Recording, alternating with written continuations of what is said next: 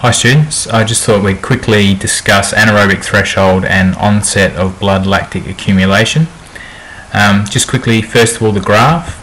Um, up the side here we have uh, lactate in millimoles per litre of blood um, and across the bottom we have the speed of the athlete running and the blue line shows the increase of lactate in the blood as the increase of the speed as the athlete speed increases. Firstly, lactic acid is produced during anaerobic glycolysis or the lactic energy system. And pyruvate is the end product of the anaerobic process and is either turned into ATP, which is energy, or lactic acid, which is a waste product that when found in the muscles at certain levels can cause the muscles to slow down.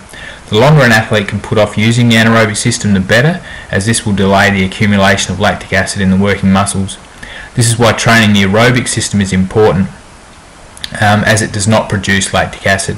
So as you can see on the graph, this athlete who is described as a good recreational runner is beginning to accumulate lactic acid at about 8 to 9 miles per hour and OBLA occurs at around 11 miles per hour. A highly trained athlete with an excellent aerobic system would be able to run at a quicker pace, maybe 10 miles an hour for anaerobic threshold and 13 miles an hour for OBLA to, due to the improved aerobic capacity delaying the use of the anaerobic or lactic energy system. So the two terms that I want you guys to remember are anaerobic threshold and onset blood lactic accumulation or OBLA.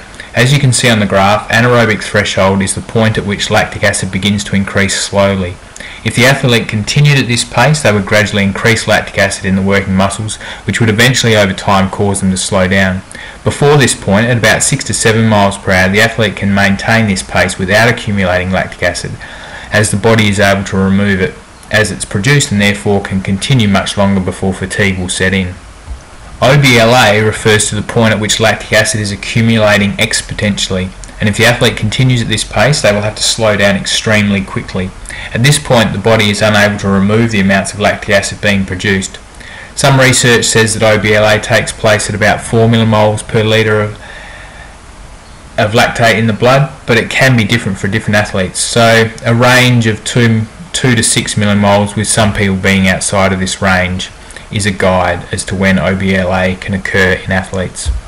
The percentage of fast and slow twitch muscle fibers can have an impact on lactic buildup in muscles. Someone with a higher percentage of slow twitch muscle fibers will be more effective at producing energy aerobically, which is breaking down the glycogen cleanly without the buildup of lactate. A person's anaerobic threshold and OBLA is important as it can determine types of training required to improve the anaerobic threshold and OBLA and where a player may be most suited to playing in a particular sport. For example, someone with a high anaerobic threshold, threshold or OBLA may be suited to running on the ball in AFL as opposed to someone who has a lower threshold. Um, someone who doesn't accumulate lactic acid quickly is going to be able to run um, quicker for longer in a game of sport.